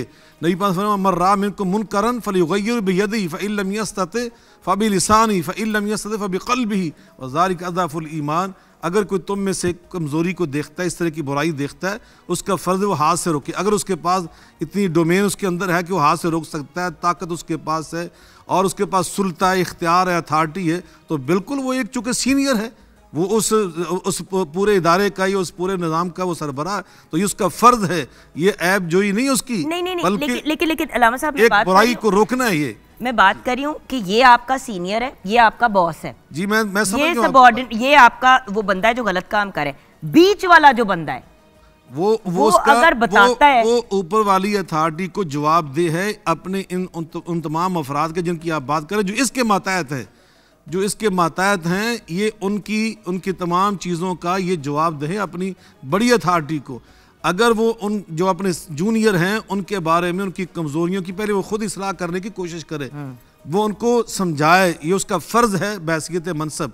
अगर वो ये महसूस करता है कि ये लोग मेरी बात को सही तौर पे कबूल नहीं कर रहे या दुरुस्त नहीं कर रहे तो फिर यकीनन ये उसकी जिम्मेदारियों में शामिल है कि वो जो उससे सीनियर अथॉरिटी है। वहाँ तक ये बात पहुँचाए ताकि कल वो ये ना कह सके बड़ी अथॉरिटी कि तुम्हारी वजह से तुम्हारी सही निगरानी ना करने की बना पर हमारा इदारा कमज़ोर हुआ है, ये हमारे अंदर ये कमज़ोरियाँ आ गई। तो यकीन इसका तो उसवा हसना के अंदर नबी पाक सल्लम की तालीमात के अंदर और आपके सीरत मुबारक के अंदर ये चीज़ें मौजूद हैं। तो मुझे ये बताइए कि फिर हम अपने बच्चों को, अपने घर वालों को, जैसे कि घर में कभी कभी आपकी कोई ऐसी बहन, आपकी कोई ऐसी कज़न कोई ऐसा रिलेटिव होता है जिसके आप करीब बहुत होते हैं और उनके अंदर ये ऐब हो तो हम इस ऐब से बचा कैसे सकते हैं और निकाल कैसे सकते हैं? देखिए ये आदत है और ये ऐसी जिन लोगों को आदत पड़ जाती है ना गिब्बत करने की लोगों के ऐप बताने की पर्दा फाश करने की वो रुक नहीं सकते। उनको बीमारी की तरह ये चीज़ होती है वो हर किसी को हर वक्त तंग कर रहे होते हैं। तो उनको फिर हम वापस कैसे लाएँ इस चीज़ अ, मेरी बहन यकीनन बहसीत एक बड़े के उसका फ़र्ज़ होता है कि वह अपने छोटों के लिए अच्छा रहनुमा अच्छा मुअल्लिम मुरब्बी नास खैर खा बने। और यकीनन जो उनके अंदर कमज़ोरियाँ हैं लेकिन नबी पाक सल्लम के उसवा हसना के मुताबिक हज़रत उम्मिन सईद आयशा सदीक़ा रज़ी अल्लाह से रवायत है फरमाती हैं कि नबी करीम सलाम जब किसी के अंदर गलती देखते थे ना कोई ऐब देखते थे या उसके अंदर यह भी ऐब था कि वो किसी की गिबत कर रहा है, वो किसी की किसी की चीज़ों को इस तरह नशो इशात कर रहा है। तो आप ये नहीं फरमाया करते थे कि माँ बालो फ़ुलान या फ़ालू कज़ा व कज़ा, माँ बालो फ़ुलान यकूल कज़ा व कज़ा। वो फ़लाँ बंदा उसको क्या हो गया? है वो ये बात क्यों कर रहा है, ये काम क्यों कर रहा है? नहीं, फरमाया, आप फरमाया करते थे माँ बालो अकवामिन यकूलून कज़ा व कज़ा। लोगों को क्या हो गया अभी?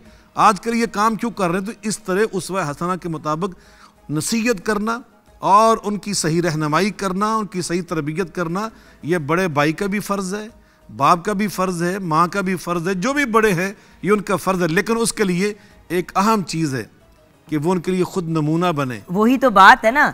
ग, ग, गेट पे कोई आया कहा कि जी अम्मी घर हैं। अम्मी ने ऑलरेडी देख लिया फ़ोन के ऊपर के व्हाट्सएप पे दस मैसेज आए हुए मूड नहीं है मिलने का। बेटा कह दो मैं नहीं हूँ। तो यकीन यही चीज़ है ना कि मैं ये अब कर- ये तो झूठ हो गया। इसी तरह माँ फ़ोन पे गप लगा मैं सिर्फ़ माओ को नहीं बुरा कह रही मैं खुद एक माँ हूँ। बट क्योंकि माँ हूँ तो मैं एक फीमेल के पॉइंट ऑफ़ व्यू से या मर्द। अबू बैठे में फ़ोन के ऊपर और किसी बंदे को किसी और बंदे के बारे में पता है उन्हें की फिर उन्हें ओ की था फिर मैंने अपनी अखा नाल वेख्या तो जब माँ बाप खुद ऐसी हरकतें करेंगे तो बच्चों से कैसे उम्मीद रख सकते हैं? इसलिए अल्लाह ताला ने कुरान मजीद सूरह अल फुरकान में हमें जो तालीम दी है ना वो क्या है? कि वल्लदीना यकूलूना रब्बना हबलना मिन अज़वाजिना व ज़ुर्रियातिना कुर्रत आयुनिम वजअलना लिलमुत्तकीना इमामा। या अल्लाह, हमारी औलाद को बहुत ही कामयाब आँखों की ठंडक वो बना दे और अगला जो जुमला है ना, वो बड़ा अजीब है। वो फरमाया कि वजअलना लिलमुत्तकीना इमामा। इनको अपने सही ग़ुलाम बना, अपनी तालीमात पर अमल करने वाले बना, लेकिन हमें इनके रहनुमा बना। हमें इनके लिए आइडियल और नमूना बना। तो यकीन वालदेन की ये ज़िम्मेदारी जो भी आपने निशानदी की की है कि वो खुद झूठ बोलने वाले और औलाद के सामने गलत बातें करने वाले अगर बन जाएँगे तो फिर औलाद से हमें तवक्को नहीं रखनी चाहिए। ना फिर हमारा वहाँ पे कहा कहा हुआ उनको, वो को मुफीद होगा नफ़ा बख्श होगा। कुरान मिलना फरमा लिमा तकूलून माला तफ़ारून कबूर मख्तन इन तकूलू माला तफ़ारून भाई तुम्हें क्या हो गया? कि जो बात तुम खुद नहीं करते जो अमल तुम खुद नहीं करते दूसरों को ये बात तुम कैसे कह सकते हो? ला तनहान खुलकुम व तातिया मिसलहू। आरुन अली के इज़ा फ़ाल तदीम अरबी शायर कहते हैं कि भाई किसी को बुराई से मत रोको अगर तुमने वो खुद करनी है। मगर वगरना लो तो ये ऐप देंगे आर दलाएँगे कि तू कैसा इंसान तो आप गलत भी औरों को नसीहत भी हैं। औरों को नसीहत करते हो और ख़ुद वही काम करते हो तो यकीनन माँ बाप का ये फ़र्ज़ है और बड़े बहन भाइयों का ये फ़र्ज़ है कि वो अपने छोटे बहन भाइयों के लिए और माँ बाप अपनी औलाद के लिए आला नमूना बने अच्छा नमूना बने, अपनी गुफ्तु के लिहाज से, अपने करदार के लिहाज से और ख़ास तौर पर गीबत से बचने के लिए, दूसरों की ऐप जोई करने से बचने के लिए, दूसरों पर इल्ज़ाम तराशी करने से बचने के लिए हती कि किसी के अंदर ऐप देख लें। ऐप देख लें तो उस ऐप को छुपाने के बारे में एक अच्छा नमूना बने। नबी करीम सलाम जब गीबत की बड़ी मजम्मत की ना तो सहाबा कराम रिजवान मजमैन ने अर्ज़ की अल्लाह के रसूल, अगर ये खामी, ये कमज़ोरी, ये गुनाह उसके अंदर मौजूद हो, जिसकी हम बात कर रहे हैं तो फिर इसे गीबत तो नहीं कहना चाहिए। फरमाया, अल्लाह के बंदो, ये उसके अंदर खामी थी, ये बुराई थी जिसको तुमने बयान किया तो यही तो गीबत है। लेकिन अगर ये बुराई उसके अंदर ना होती तुम फिर भी बयान करते तो तुम गीबत भी करते और उसके साथ साथ बहतान भी लगाते, तुम तो डबल गुनाह करते। तो यकीनन हमें तो इस्लाम ने ये पाकिज़ा तालीमात दी है लेकिन और एक बात ये नहीं है कि हमने एक गुना नहीं करना तो दूसरा करना है। हमने कोई भी गुना नहीं करना। लेकिन एक मैं बात कह दूँ मेरी बहन हम जिस दौर से गुजर रहे हैं ना इस दौर के तनाजुर में ये बात कहना चाहता हूँ।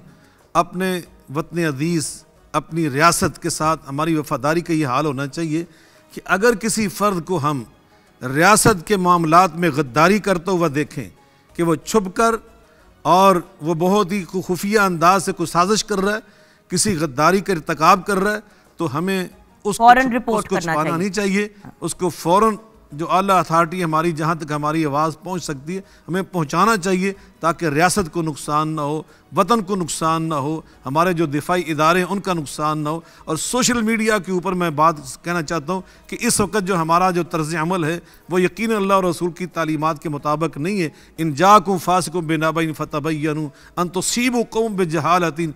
अगर तुम्हारे पास खबर आए, पहले उसकी छान फटक किया करो। फिर उसकी रोशनी में बात अपनी डोमेन के अंदर रहते हुए किया करो। अल्लाह हमें इस पर अमल करने की तोफ़ी अता फरमाए। आमीन सुमामीन। बहुत बहुत शुक्रिया प्यारे भाई डॉक्टर साहब और अलामा साहब। तीनों नामों से आपको मुखातिब किया और आपका शुक्रिया अदा करना चाहूँगी। आपके कीमती वक्त का मुझे पता है कि आप बहुत बिज़ी होते हैं। सलामत रखे। लेकिन हमेशा पीटीवी के लिए वक्त निकालते हैं। थैंक यू आपकी ये मोहब्बत है शुक्रिया आपका। और अपने प्यारे भाई नूर की तरफ़ बढ़ते हैं। भैया क्या पेश करने जा रहे हैं अब आप? एक उर्दू कलाम के चंद अशार खूबसूरत मेरा पसंदीदा कलाम है ये तो मैं पेश कर रहा हूँ। और आपसे ही सुनते हुए हम अपने शो को कंक्लूड करेंगे। व्यूअर्स इंशाल्लाह ज़िंदगी रही। तो कल मुलाकात होगी। And over to you Noor भाई। मुफलिस ज़िंदगी अब न समझे कोई। मुफलिस ज़िंदगी। अब न समझे कोई मुझको इश्क नबी से कदर मिल गया। जगमगाए न क्यों?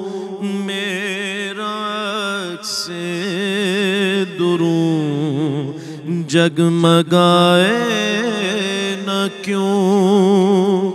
मेरा से दुरू एक पत्थर को आई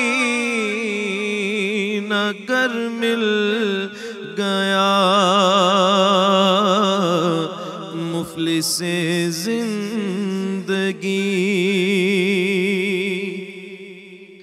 उनका दीवान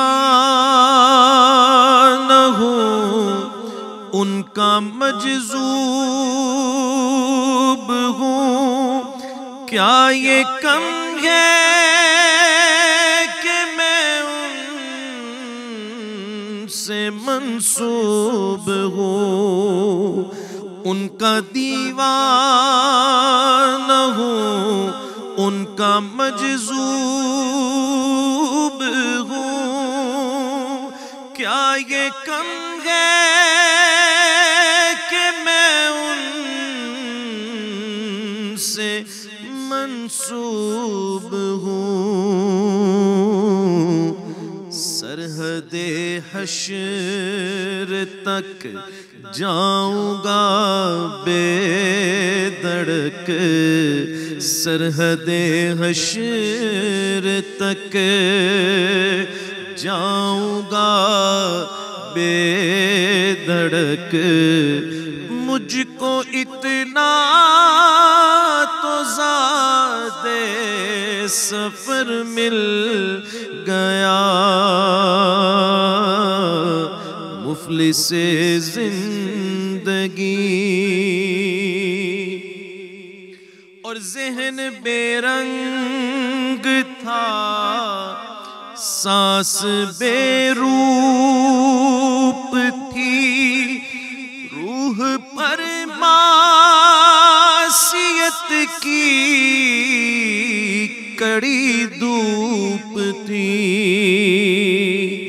जहन बेरंग था। सांस बेरूप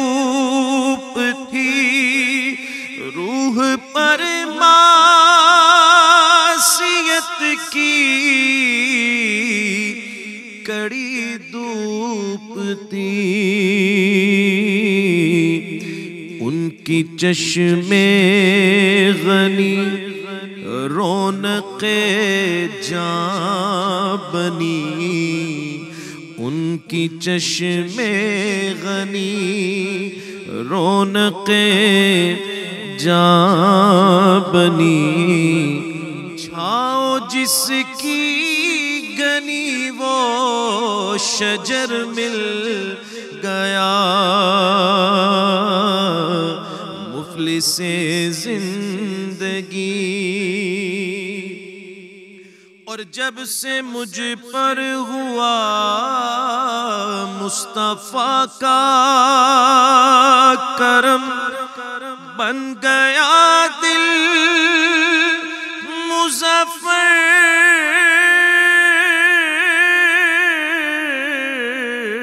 चराग हरम,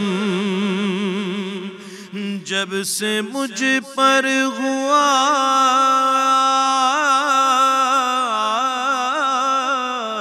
मुस्तफ़ा का करम बन गया दिल मुजफ्फर।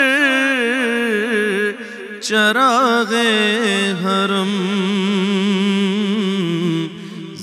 ज़िंदगी फिर रही थी, भटकती हुई। ज़िंदगी फिर रही ही भटकती हुई।